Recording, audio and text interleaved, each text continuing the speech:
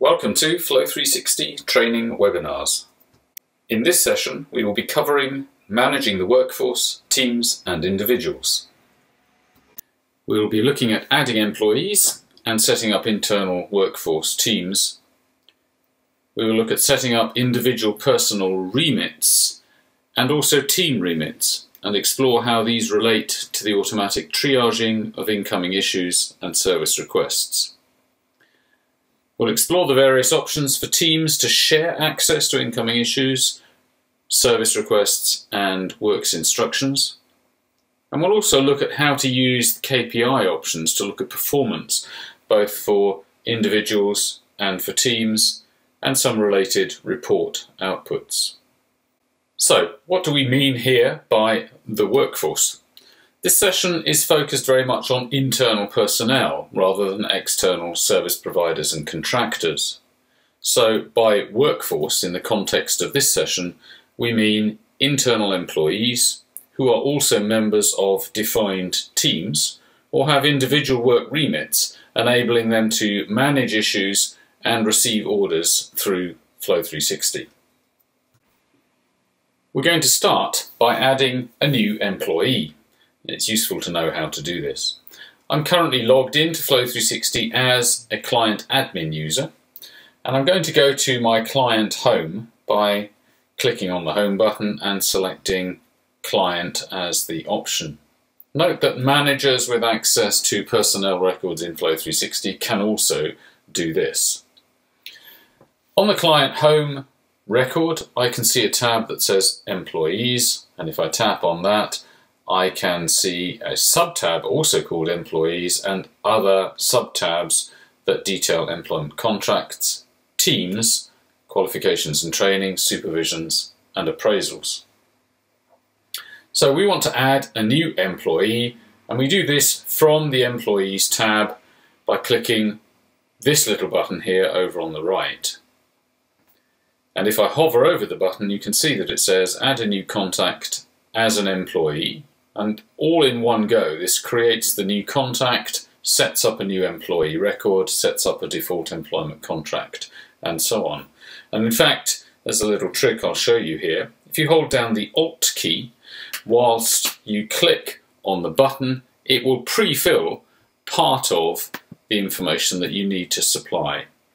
So you can see by holding down the Alt key, it's automatically put in to this new employee contact dialogue, the name of the company, and the work address. So really all I need to do at this point is fill in the name, uh, a job title and email if I want those uh, bits of information in Flow360. So we're going to add uh, we're going to add Paul Williams as a new employee. And we'll put in an email address for him.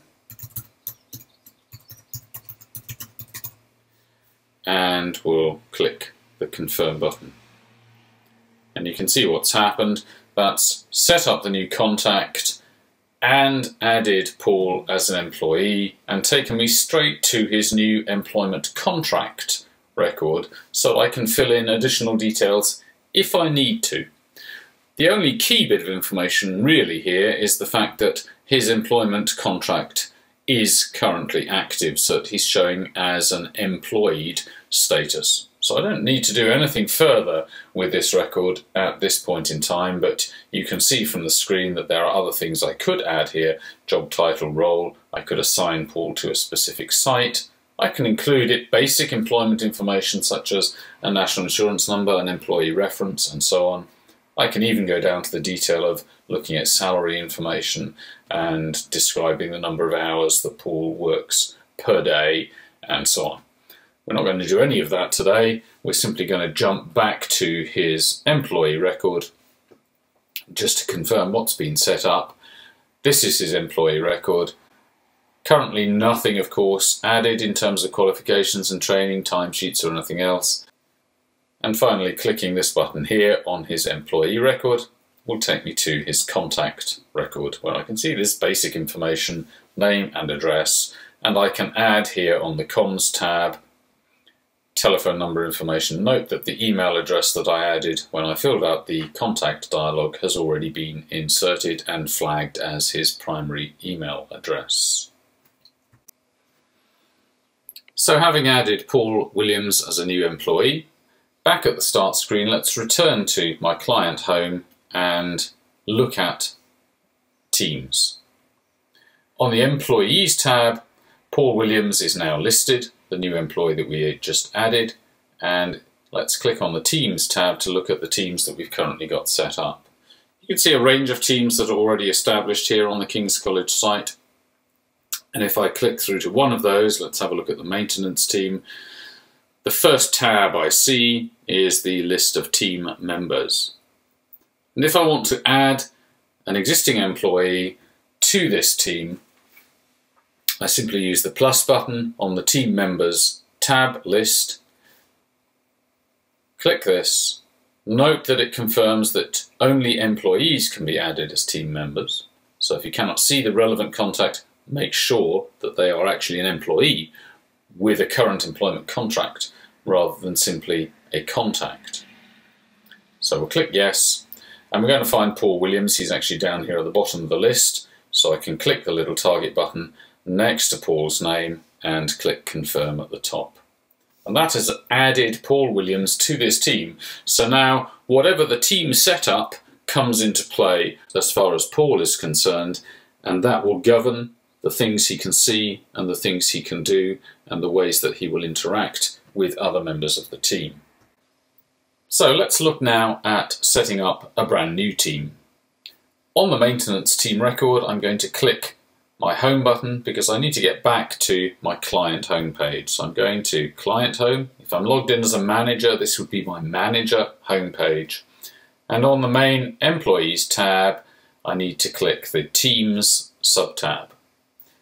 And here I see all the existing teams listed, and we want to add a new team of porters. So I'm going to click the Add New Team button here at the top of the list and put in the name of the team. If I want to, I can make this a site-specific team if I'm running multiple sites, but in this case, I don't want to do that. I just want this to be a general team that can operate across all sites. So I'm going to click Confirm. And that has now set up the porters as a team. There are no team members currently, so let's look at adding an employee to the team. Let's add Paul Williams. I'm going to take him off the other team and just add him to the porters team. So we'll click confirm on that. And we're going to change the lead or the primary contact. By default, it will put in the client name here as the lead, and we want to actually make Paul the primary contact or lead on the porters team. So I'm going to confirm this and say, yes, that is what I want to do. Again, I'm going to find Paul Williams on my list. If I've got a long list of contacts, of course, I can use the filter button up here to find an individual by name. But I can see Paul's listed here, so I'm going to click the target button next to his name to drop him down to the bottom, click confirm there, and Paul is now the lead.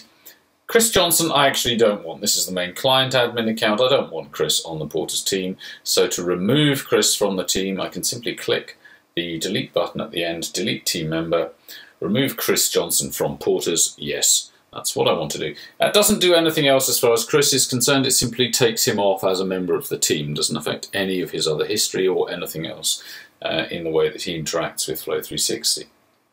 And if I want to add additional members to the Porters team, then of course I can click the plus button and add further members.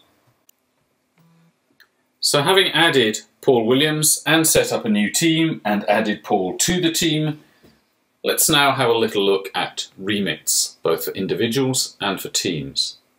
Remits exist to describe the working relationship between you as an employer and a service provider, an internal member of your workforce. They're also used to describe your working relationships with external service providers and contractors.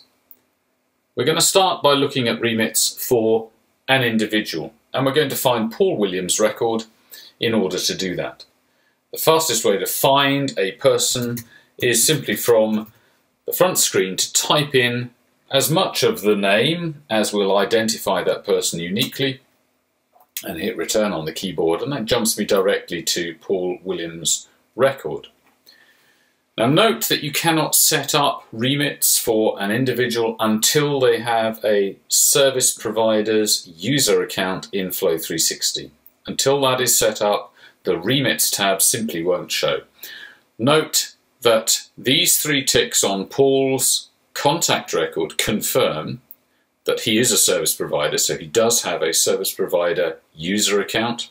He is a user, of course, because he has a user account, and he also has some access to your site. And that's confirmed with the access tick. So let's have a look at the remits for Paul. We need to set up remits in order that Paul can be in a position to show up as a potential target for receiving new help desk issues as they come in and also as the person that works instructions can be assigned to. And we need to decide and then specify in Flow360 what those remits are. Now there is a shortcut for internal employees and if I simply click the button here that says add global set, add a default set of remits for Paul, it will give us the basics very quickly. So add a default set and this just confirms what's going to happen. Remits, non-site specific, will be added for all regions, all work types and a default cost range of 0 to £5,000. You should check all remits, tab lists and adjust these where necessary. So we're going to go ahead and set up those default remits for Paul. And you can see on the geographical remits he covers all regions. Now if you have multiple sites spanning different counties in the country for instance, you can be specific about which areas an individual employee can cover. Uh, as far as work remits are concerned, again, he's got simply two ticks here. One that says he has a remit for all works categories and that he has a remit for all help desk work categories specifically. Now that means he can be assigned to manage help desk issues and he can also be issued with works instructions for any type of work activity. If you want to be more specific about the remits that apply to an individual, then rather than giving them a global set, let's just take that out, remove that remit, and we're going to add manually, rather than saying all or all help desk, we're going to say specifically uh, Paul perhaps does electrical works. And if I simply add that, that then limits uh, the type of issues and the type of works orders that can be sent to Paul to those that cover electrical works.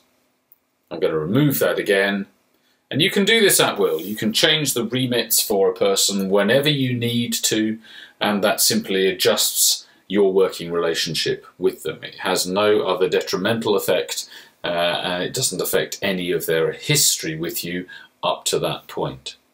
So I'm going to add in the global set that covers everything and click confirm. Let's just have a look at the cost remits tab as they apply to an individual and you can see again by default the global set has set up a cost range of works that can be sent to Paul of 0 to 5,000. That's a relatively small value. It covers uh, a lot of work that is internal. For external contractors, particularly your main contractors, you would want to set that value considerably higher.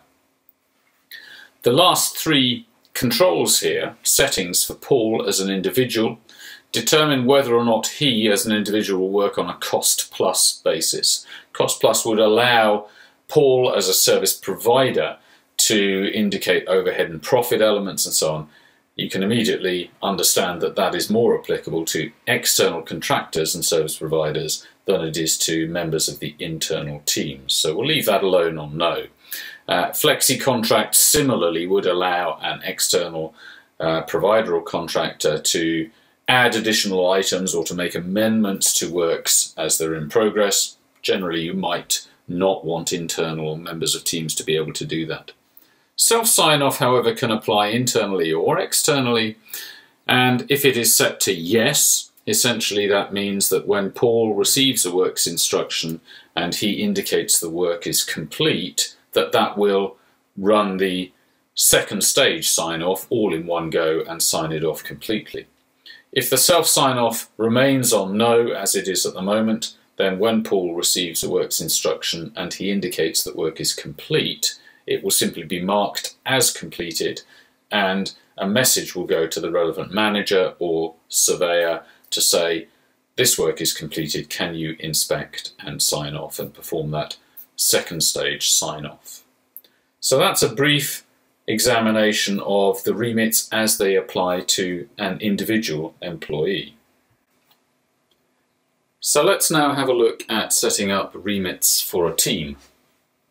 Again, I need to go to the team home card. So if I click home, go to client home, and then to the employees tab and the teams sub tab, I can go to the team setup. So let's have a look at the porters team that we have just set up. Paul Williams is the only member of the team currently. And what I want to do is look at the setup for the team as a whole prior to adding other members on the team. Let's just deal with these options quickly one at a time. So the team email address is an email address that you can add. Very often we find that teams have collective email addresses or a team email address that can be used that they all have access to. And if that email address is entered here on the team record, then that email address will be used to send messages relating to new issues that have been assigned to the team. And that means they all will have access to that information by email outside of Flow360, in addition to having access to the information in Flow360.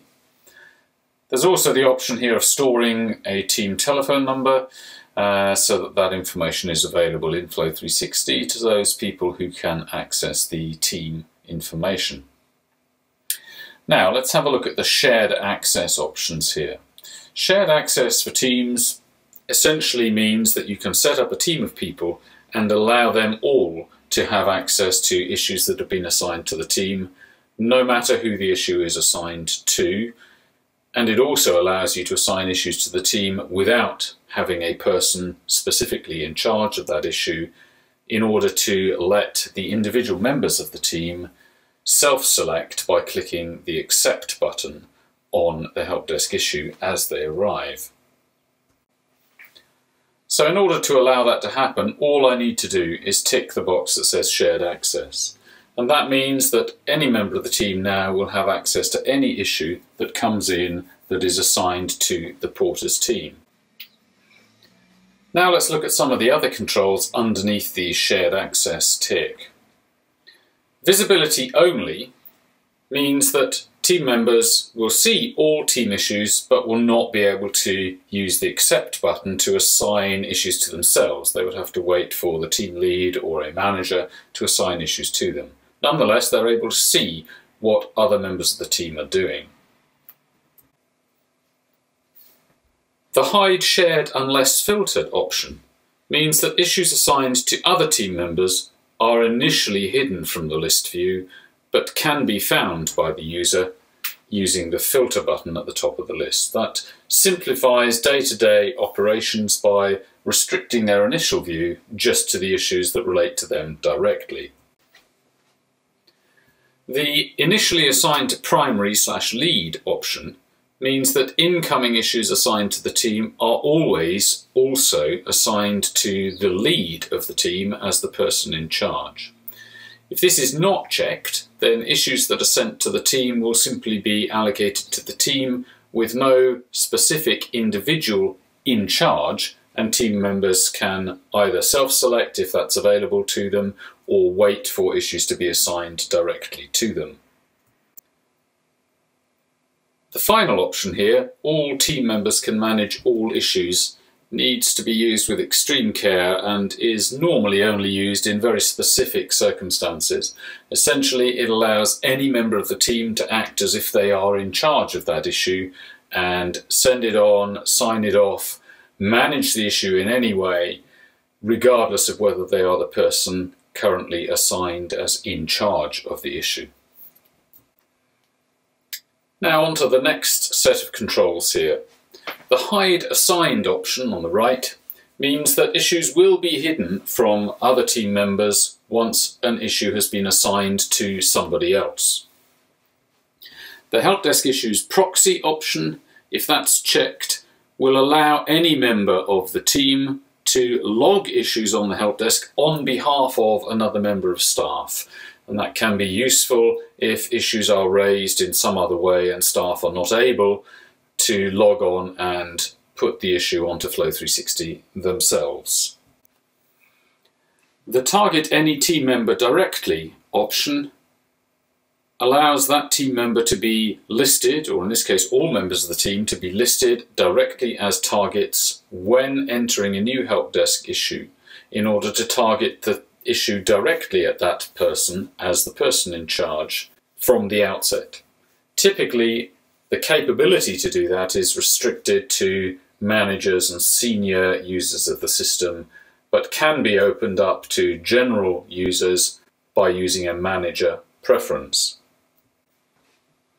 Now we move on to the work type remits that apply to the team. We've already had a look at remits as applied to an individual and the option here on the team setup allows us to specify how those remits or whether those remits are used in order to inform the activities that the team can undertake. If we tick this box, use member work type remits, then the remits that are listed on this next tab, Help Desk Issue Work Type Remits, will be a collection of all of the remits assigned to the individual members of the team. Whereas if this is unchecked, then you can use this tab, Help Desk Issue Work Type Remits, to set up specific work type remits that apply globally to the team, regardless of the individual remits that may be set up for individual members of the team. The log team work types only option is a restriction and if that is checked it will mean that members of the team are only allowed to put new issues onto the Flow360 help desk that match work types that belong to the team. They will not be able to log issues for any other type of work. And the final option on the right hand side also needs to be used with great care. Uh, it allows you to set up the team so that the team members will all see each other's outgoing issues as well as issues that are incoming for the team. In specific circumstances, this can be useful. An example would be the ICT support team needing to see whether other members of the team have already issued a request to the porters, for example, to set up a space for a particular event. Let's now have a look at some controls that exist on the Team Members tab and are an extension of the preferences that may have already been set up for the team on the Setup tab. The first of these, with the T at the top of the column, allows you to say that this individual team member can be directly targeted as the person in charge of a new help desk issue. And because you can do this on this list, person by person, you can set these controls for some trusted members of the team and not for others until you feel that they are ready to take on extra responsibility. The S column allows you to say that this individual team member is allowed to self-allocate new issues when they add them to the help desk. So they can put a new issue on help desk and assign it to themselves all in one go. The orders tick means that the team member is allowed to issue direct orders from any issues that have been assigned to them and these could include orders that go to external contractors, regardless of whether that team member has manager capability more generally or not. So you can extend some manager-like capability to individual team members, but only within the context of issues that have been specifically assigned to them. The SO sign-off column allows you to indicate that that person, that member of the team, is also allowed to sign off any orders that they themselves have issued. And the final option here in the column with the plus at the top allows you to say that this member of the team is also allowed to sign off any direct orders issued by any other member of the team. So these controls on the Team Members tab allow you to set up individual controls for specific members of the team that are in addition to the team setup that is set up more generally on the Setup tab. Let's now explore where some of those team setups and remits come into play with regard to targeting and assigning help desk issues. I'm logged into our demo as a manager and I need to show you a couple of pertinent preference settings. So I'm going to the preferences for this manager account and I'm going to the general help desk settings. And I want to look first of all at this option here, target help desk issues based on, and the choices you have are either just issue type or issue and work type. Now if we select issue and work type, then the remits that we've set up for the individual teams come into play with regard to the automatic targeting of help desk issues.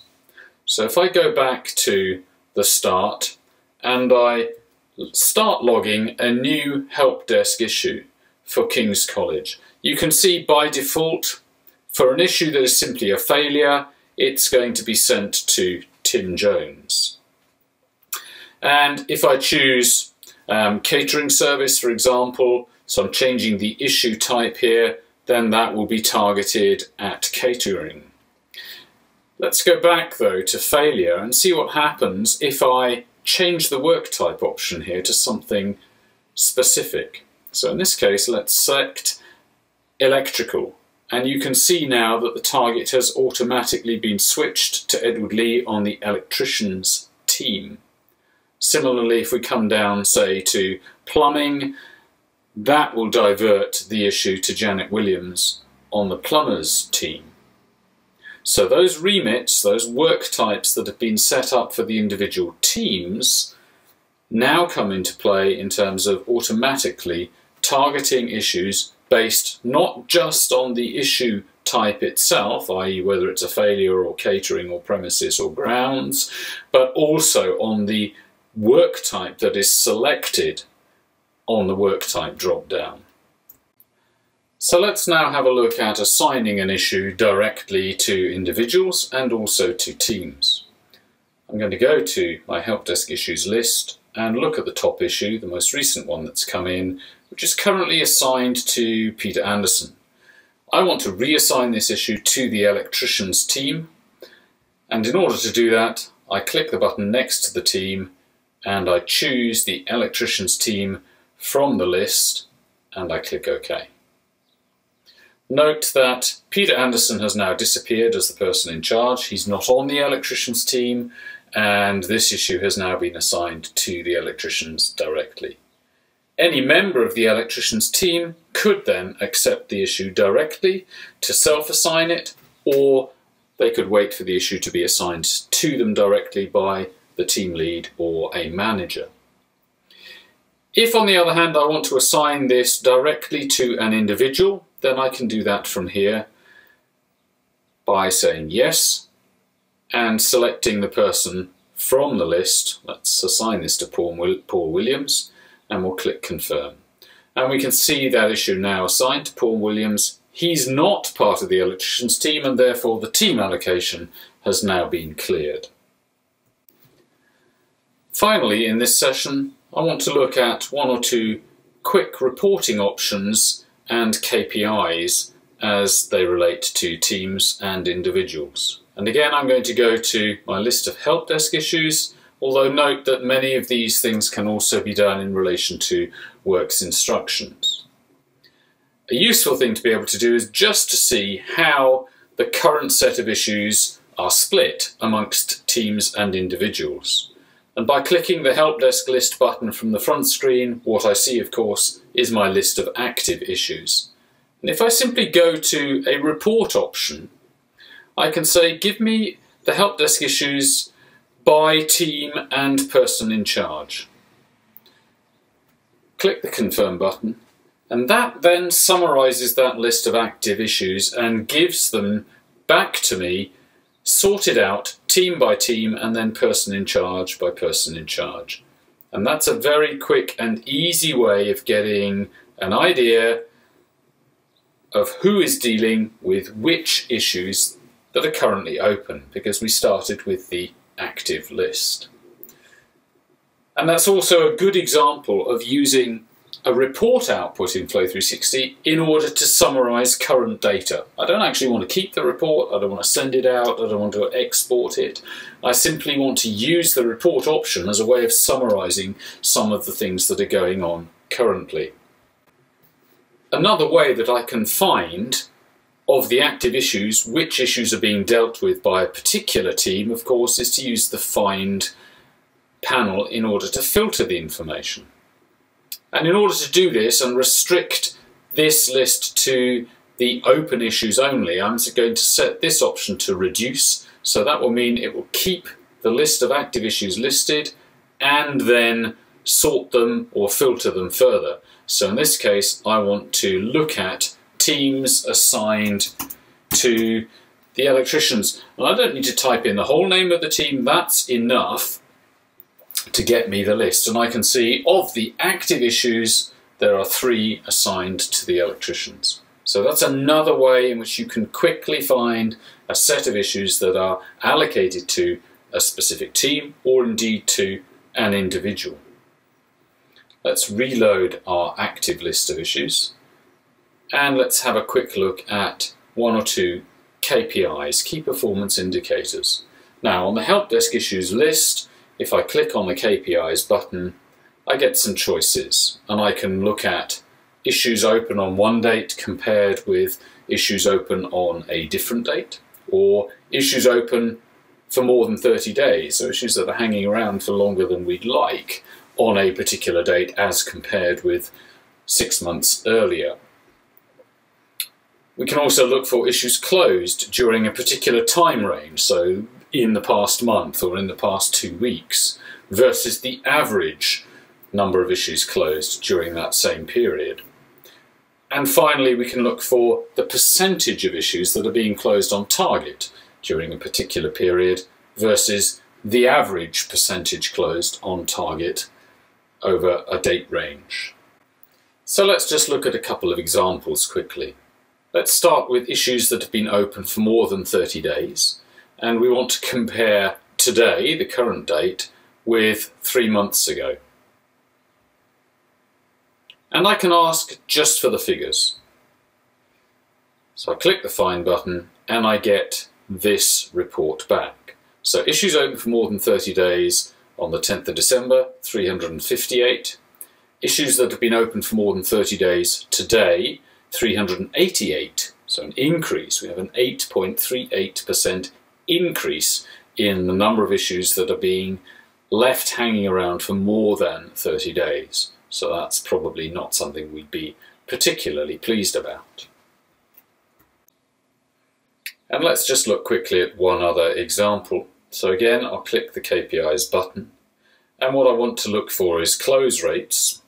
So the percentage issues closed on target during a particular period. And what I want to look at is the last three months. And again, I just want the figures. I don't need a report output. Just give me an idea of what's going on. And if I look at that result, again, not one I'd be particularly pleased about. The percentage of issues closed on target during the three months ending the 10th of March, so that's today, 20%. The average percent issues closed on target during each three month period starting from a year ago is 50%. So that is a 60% reduction in the number or the percentage of issues that are being closed on target during the past quarter. Well, that's about it for this session. Don't forget the built-in user guide, which you can access by clicking the question mark button here on the main screen or in the sidebar of many other screens in Flow360. The user guide is structured as a series of walkthroughs guiding you through processes and providing additional background information. Look out for more tutorials on our YouTube channel, search YouTube for Flow360 UK, or click the button on our website landing page and that will take you directly there.